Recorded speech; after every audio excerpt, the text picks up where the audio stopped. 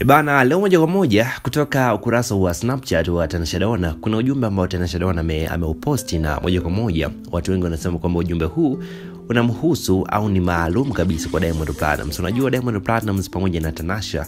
ni watu ambao hawaongei mara kwa mara, yani hakuna urafiki ya kati ya Diamond platinums pamoja na tanisha dona Ni tofauti kabisa na Zari pamoja na Diamond platinums Leo hii Zari pamoja na Diamond platinums wakikutana, watapiga stori vizuri kabisa, watajirekodi na nzuri zaidi. Vitu vyote hivyo huwa tunaviona kupitia Instagram. Kuna video ambayo tunamuona kabisa Diamond platinums anamshika Zari, anapiga naye stori vizuri kabisa. Ni tofauti kabisa na Tanasha dona Hivyo hata kama kuna kitu ambacho Tanasha anajisikia kumwambia Diamond Platnumz live, anashindwa kwa sababu ni mtu ambaye hajamzoea kabisa. Na of course kama unakumbuka vizuri, mwaka jana mwezi wa tisa hivi Tanasha Donna alikuja hapa Tanzania, na alipokuja hapa Tanzania amekaa kama miezi minne hivi, na siku zote hizi ambazo Tanasha alikuwepo hapa Tanzania hakuna hata siku moja ambayo tumemwona Tanasha Donna akipiga picha yeye pamoja na msanii Diamond Platnumz au akijirekodi video akiwa karibu kabisa na Diamond Platnumz, hadi inapelekea watu wengi kujiuliza, jamani, mtoto huyu anakuwa zaidi, na hadi leo hii mtoto huyu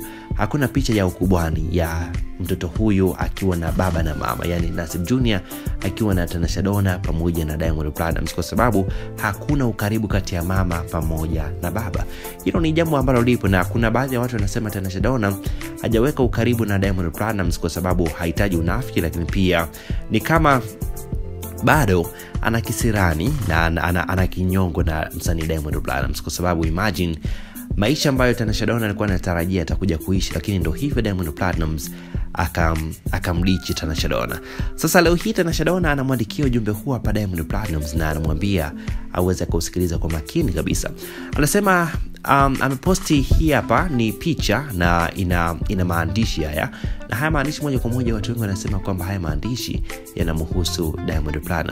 Amesema mtu yeyote ambaye anajihisi kwamba hapa duniani anakula bata sana, ana enjoi na ana, anabadilisha wanawake kila kukicha, lakini ajui kabisa kwamba vitendo vyake hivyo havimpendezi Mwenyezi Mungu, ni haram kabisa. Sasa baada tu ya tanshadona kuandika haya maneno moja kwa moja, watu wengi wanasema haya maneno tanshadona anamwandikia Diamond Platnumz, kwamba kuna baadhi ya watu wanamtamania Diamond Platnumz kwamba anakula maisha mazuri, ana, ana